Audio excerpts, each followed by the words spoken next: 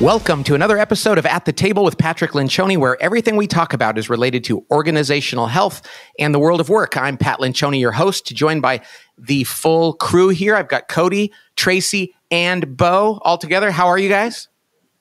Wonderful. Wonderful. We're back.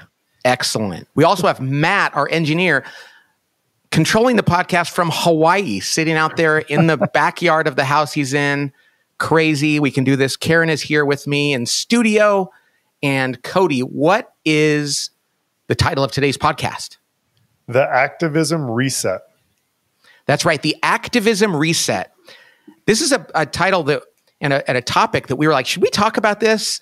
And we thought, gee, it's what everybody else is talking about right now. And to shy mm. away from it and not to enter the danger would, would not be true to who we are because it's affecting the workplace and business and and the culture. And so we're going to enter into this conversation around what's going on in society around businesses and, and especially those that are engaged in activism. But of course, we want to be very clear. We're not going to talk about issues. This is not a political show. There's plenty of those. We're here to talk about the workplace. But mm. the context is this. There's surveys that have been done recently that show one said 78%, another said 87%, that most people of all stripes would prefer that the companies where they do business with don't get involved in politics or activism. They think they should mm-hmm. just focus if you make pants to make good pants. And and that seems to be what most people want. However, we've had a situation in which some companies that have gotten more aggressive in their activism have actually gotten punished in the marketplace. Well, that's interesting fodder for conversations on, on cultural and political shows. We are not about that. We're about organizations, and we want to talk about the challenges for leaders and employees that work at those organizations and how this affects the workplace, because that's what this is all about. So mm-hmm. that's what we're going to do today. How does that sound, everybody? Sounds great. It sounds great. Yeah, we leaned into this topic a little bit a couple months ago in an episode called Dangerous DNA. And we were chatting about it again this morning and thinking about a lot of employees, managers who are out there trying to figure out how to navigate this tension. Right. Yeah, it was at the end of February we talked about how companies' core values seem to be shifting and they're not they weren't aware of that. We had no idea that less than 3 months later this would be the what everyone is talking about at the mm. water cooler, on Zoom, on TV, and everywhere else. Mm. You know, it's I, I love that this is how your brain works, Pat, because when things are going on in the real world or in the news, you have such a I say this in a endearing, not, not a bad way, but an obsession with how this impacts the workplace, like how it impacts leaders or the people that you have, you know, the the people that are in your organization, and how they how it affects their ability to have a dignified experience at work and go home and feel like a you know a, a, great human when they get home. So i love that when these come up that you're not going to the issue. You're saying like boy it's so it's like you're trying to solve a puzzle for managers and leaders to say how do we navigate this as the as this is happening in the workplace? Right. And that's not to say that people don't have their own strong opinions about things but that's not what we're doing here. That's not mm-hmm. what we're mm-hmm. doing here yeah, so let's talk about that. What are some of the costs for an employee when the organization or the leader choose to get chooses to get involved in something political or, or some cause? Yeah, well, I think what's important, Bo, I want to step back even from that and say, because this is a hard issue. I think the leader of a business if it's a private company, and there's plenty of small private companies out there, has every right in the world to do with their business what they want in terms of, yeah, I, I feel strongly about something, and I'm going to include that in the way we do business. That's that's the right of a person in a free society to do that. If you're in a private business, and especially a small one, and but you need to be upfront with your employees about that so they can opt in or out and and feel like, yeah, I belong here or gosh, I don't, but I'm still loved and respected, but maybe I don't want to come to work every day someplace where I don't vibe with the or jive with the with the culture. That's one thing. Mm. But when it happens at a large public company, when there are shareholders involved, first of all, you're you're they are the owners and they're the people who you're supposed to protect their financial interests. And so when companies get hit really hard for doing that, there's there's legal and financial responsibilities there. But when you have 10, uh, you know, when you have a thousand, tens of thousands, hundreds of thousands of employees, and you take a stand on an issue, right or left, what doesn't matter what it is, you have to know that there are people in your organization that are not going to be aligned with that. Mm-hmm. And they're going to start asking the question mm-hmm. Do I belong here? Am I wanted here? And I think that's the big thing. And the impact on the bottom line is very real because people are either going to come to work and be less excited or they're going to feel afraid. And the impact on the culture is going to be extraordinary. Hmm. And there are companies right now that are dealing with this, and I can't imagine what it's like to be an employee there. I saw a statistic recently, Bo, that said 60% of employees feel like if they shared their true views at work, it would re- it would jeopardize their chances at promotion or even keeping their job. 60% of employees. Wow. And that's a real problem. I also saw a statistic that said like twice as many employees, like there was one particular thing I saw that said 14% of employees agreed with the company's stance around an issue. It doesn't matter what the issue was. But 28, only 14% agreed with the activism that was being done. But mm-hmm. a full 28% when they were asked publicly would say they did. So twice as many people would say they agreed with the company because they were afraid to that actually agreed.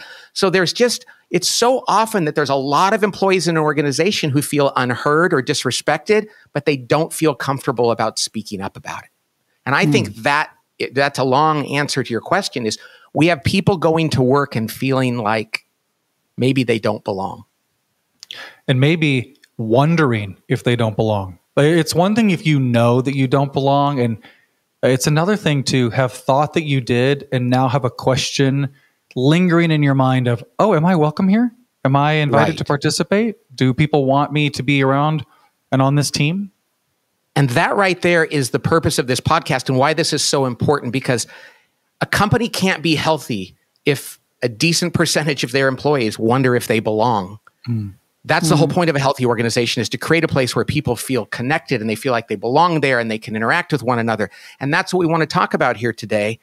And that's a real challenge in a in in a divided society, a divided world when that creeps into our organizations. Yeah, and for a manager, imagine leading a team of 10 people and thinking, "Oh no. What if 60% of my people aren't sure that they belong here?" What will happen is you're never going to have gr- a great team. You're never going to have the trust that leads to great conflict and commitments if people are left wondering, do I actually belong? Yeah, because one of the best competitive advantages in business is culture. And a divided culture, you know, what does it say in the Bible? A, a divided house cannot stand.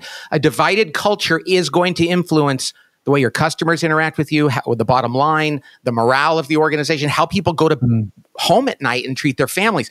This is a serious problem in society. And while everybody's so focused on market share and stock price, and I get that, mm-hmm. what's going on inside of these companies? Mm. Yeah, and, you know, Pat, it's it's so interesting because you think about when we when, we lay out the six critical questions in the advantage, when when the leadership team at the top of the organization has explicit clarity on things like why do we exist as a company and how do we behave that's the cultural filter for people who belong here this is it's already we've experienced this at our own company is like it's already a pretty tight filter to find people that want to be and feel like they belong in your in your organization. And then when you're adding these ad hoc you know political or activist type filters as well as a way of saying like that's what our company cares about it's it's narrowing that pool. It confuses it and it divides people that you already have based on the criteria you set at the behavioral level mm-hmm. yes and and we want to be clear we're talking about an issue that you're an activist around that's beyond your core mission yeah. You know what I mean? Mm-hmm. I mean, some, some mm-hmm. organizations are set up to deal with these very issues. That's fine. Of course, that's what they do. But when you when you make pants for a living and you're doing you're you're active you're an activist around things that have nothing to do with your business that's what we're talking about here and i think what's interesting is i think if i were talking to a small business owner and they said listen i really do believe in this issue and i want to i want to act be an activist for this i would say then if you're going to do that then love your employees enough to let them know that you're taking that on and to let them know that as much as you care about them, they might feel disrespected to stay there and that mm. you're going to help them find a place to work where they feel like they belong. That is actually dignifying to a person. But mm. to mm-hmm. to change your culture or to take on these issues and not be upfront with your employees means you're actually almost condemning them to come to work every day and feel like they don't belong. There, there's something like a kindness about being upfront about that. Does that make mm-hmm. sense? Mm-hmm. Oh yeah. Mm-hmm. So can I ask the question why? So why are so many companies and leaders actually taking this position of activism? If all of this data is true, why why are so many people jumping into that pool? Well, I think there's a few different reasons, right? I mean, mm-hmm. what do you guys think? I have a wild notion, which is I think that most leaders didn't come up with that idea on their own, but they felt some pressure to be able mm. to say something or take a stand about something. And and that's how this starts. External mm-hmm. pressure, maybe it was in, internal pressure, maybe it felt like it's what everybody else is doing. Some of them this might be their own personal pet project. Yep. Right? Mm. But like you said, some of them and we've talked to CEOs they were like, "Well, I I kind of thought this is what employees wanted me to do or or something like that. And then, but but then the question becomes, but if it's not the majority of employees, the vast majority of shareholders, employees, and customers that want this, then why would they do that? Hmm. I mean, like, I, do they? Do you think they knew what was coming? I hmm. think it's a, a fascinating question, Pat, because like if you're if you're doing something, if you own the business, or if you're if you're a leader of the business, the the right thing to do is whatever you think is in you know, the business best interest, right? So I, I, would imagine that some of these conversations are happening like, oh, you know, I, I met, it's sort of fun to think about like there's two steel companies, they make steel, that's what they do. And one of them mm-hmm. says, I think we'd get more customers if we're a steel company that likes golf, you know, and somehow we're going to get more of the golfers to buy our steel. I, I, think the the notion of that is sort of ridiculous, but it has to be part of some of those conversations where they think if we are adding some values or some things outside of our core business, that somehow it's going to attract more people to them. Right. So so then do we think a lot of them just didn't realize that not everybody embraced the issues they were being activists around? I mean, mm-hmm. were they mm-hmm. just like, I had no idea that so many of our customers, so mm. many of mm. our employees don't mm-hmm. actually buy into this? Hmm.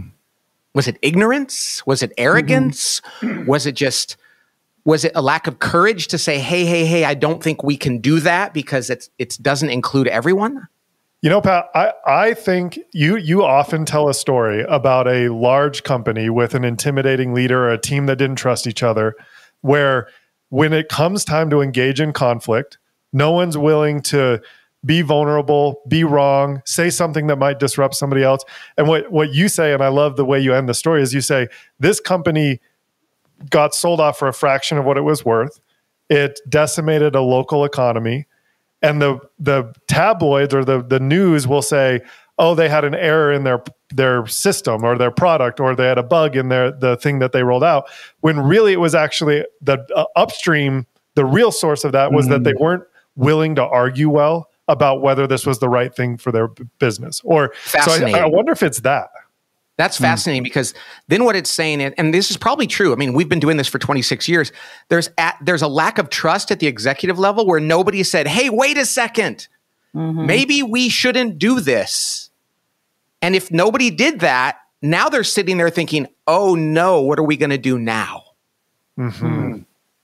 Which begs the next question What advice would we give to a CEO of a public company or a big company with lots of employees who now finds themselves committed to something that they didn't realize either out of arrogance, out of ignorance, or out of mm. lack of courage? and trust in the or, in the executive team. But let's just say they're out there and now they're like, okay, what are we going to do about this today? What are your thoughts?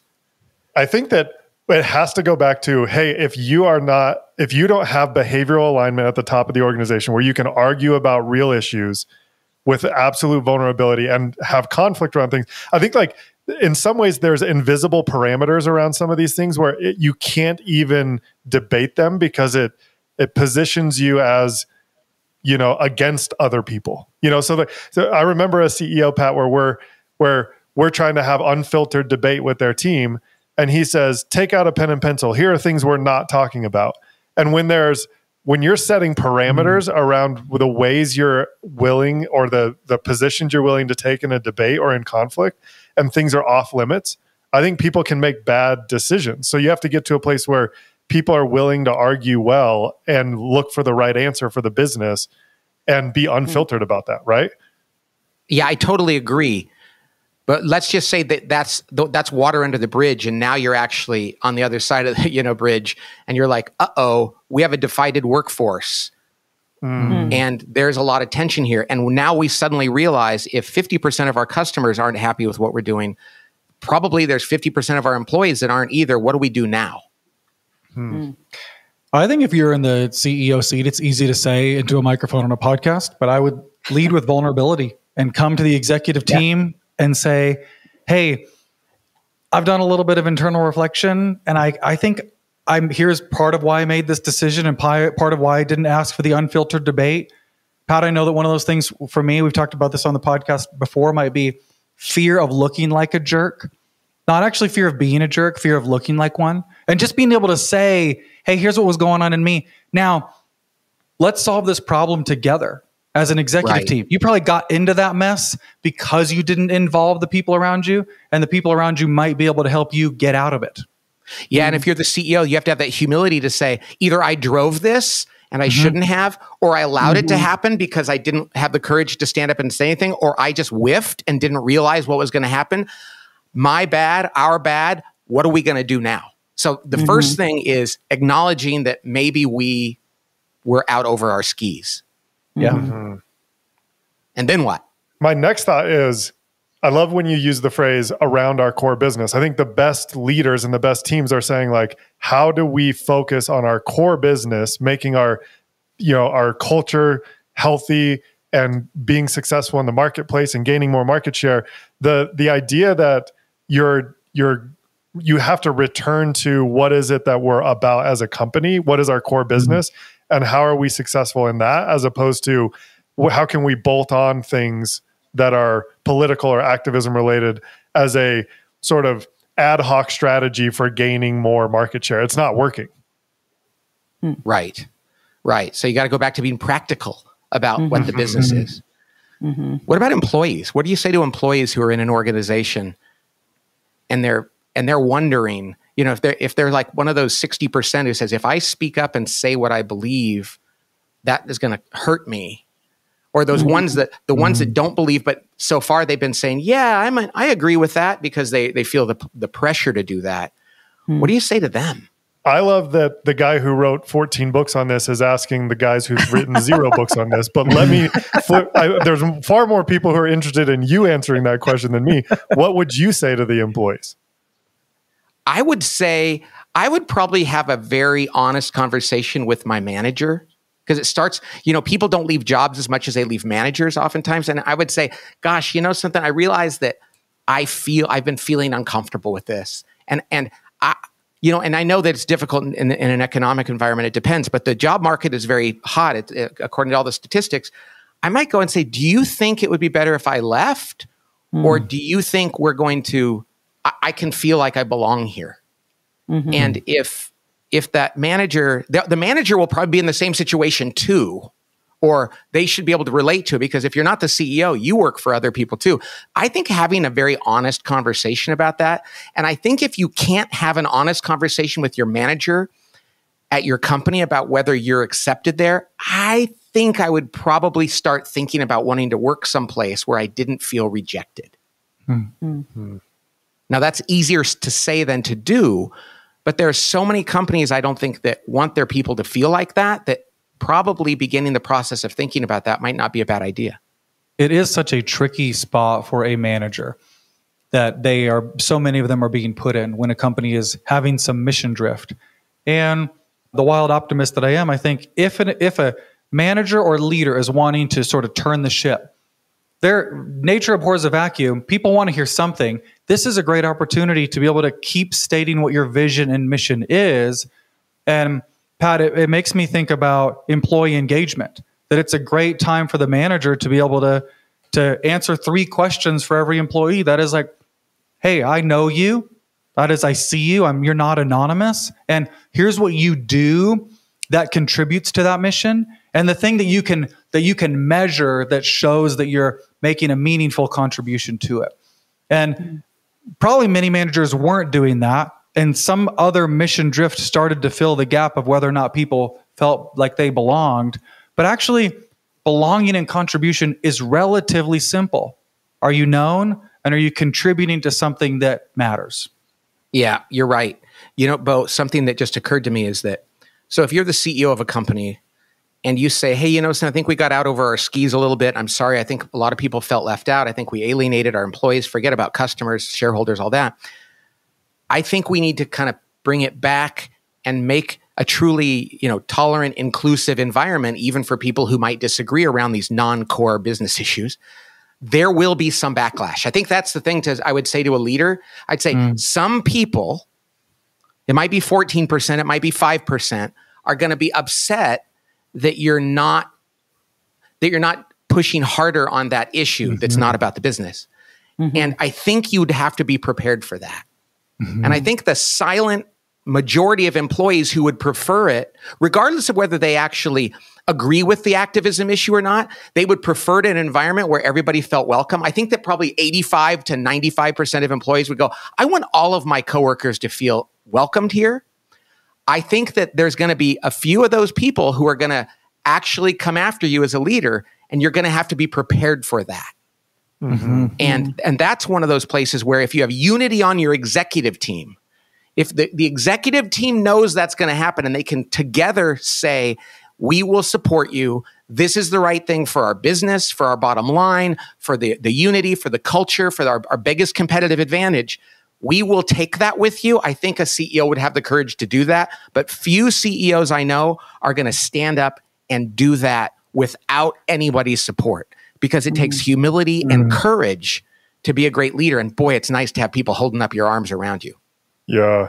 Pat, I love that picture you're painting there because you know you say hey we got out over our skis you lead with vulnerability and we you often say that you know similar to our bodies that like when your muscle is torn when it heals it's actually stronger than it was before it was torn you know? So that that scar tissue heals more strongly than the tissue that's never been torn. So in some ways it's actually i think on the other side of that if the this the ceo and his or her team are willing to have that level of unity that you described, have that level of vulnerability, it might even be better for the people in your business to go, mm. hey, we had no idea that we alienated some of you. We'd made a mistake. We want to recommit to our core business. We want you to feel like you're here and you belong here. That would go um, uh, miles and miles for the employees in that organization and create a stronger yeah. culture maybe than even before.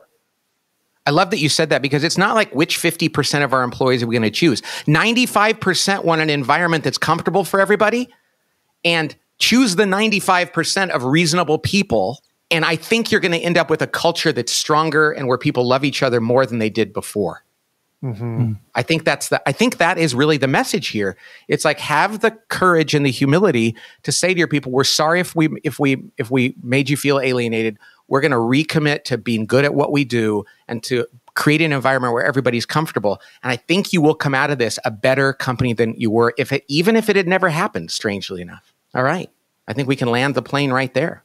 Crazy times right now, but maybe we come out of it better for it. That's usually what happens. A little suffering, a yeah. little angst mm-hmm. leads people to a better place. And that's what we're hoping for and praying for for for organizations because jobs are important and they affect families, they affect, affect people's self-esteem and and everything else. How about we end with an unpaid ad? Uh, I like that idea, Bo. So here's a very, very serious unpaid ad that I take very, Ooh. very seriously. Okay, which is I'm gonna I'm gonna suggest an innovation in a home appliance that I think could be a game changer. Okay, and that okay. is one of my favorite things in the world is the add 30 seconds button on the microwave. Okay. And my suggestion to you, world, is that we only need one button on the microwave, and it is the add Completely 30 agree. seconds button. You're on, you're in on this plan, Tracy. I'm in. It's the only button I ever use on my microwave. I What's didn't even know there was such a button. What's amazing Oh. is if you want to heat something for two minutes, you could push 200 start, or you could actually hit the 30 second button many more times than that. And it's better, it's easier. Actually, It's the same way more of times. efficient. Same number of times. Three Same minutes. number of times. They get three minutes. Oh, it's it's a flawless design. I want to say thank you to the person who invented it, and that's what our uh, that's what our podcast is sponsored by today. Okay, so I our microwave in our house is the, those new kind that they put lower in the kitchen because we had our kitchen mm-hmm. redone, which means I never bend over to look at the th- buttons. I barely remember what they are, and I don't see very well anymore, so I can barely read them. So I'm sure I have an add 30 second button that I've never even used. So you have just changed my life, Bo. I'm- Yeah. Let me I'm ask you gonna- a question: Does anybody else feel nervous about standing in front of the microwave still? Yes. Yeah, All the time. absolutely. Hundred percent, can't do it. Me too. And now it's at the crotch level. That's not good. It's even worse. yeah you know so yeah that's a that's a uh, dangerous thing so step away from them hit hit 30 seconds step away I can't It wait. add someday- five seconds that would have been bad because you'd have had to stand there if somebody were to say, so does, does Pat, do people ever stop you on airplanes and say, do you have any sponsors for your podcast? And you can say, oh yeah, you wouldn't believe it. We're sponsored by 80s music and the add 30 seconds button on your microwave. but not celery still not celery okay everybody right. thanks for joining us today we appreciate you so much we'll talk to you next time on at the table god bless